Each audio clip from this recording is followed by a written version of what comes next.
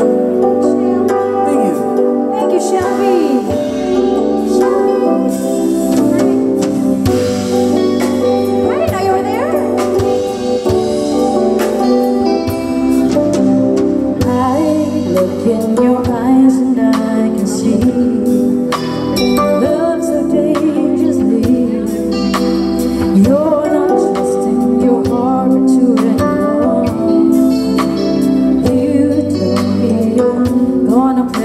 Oh.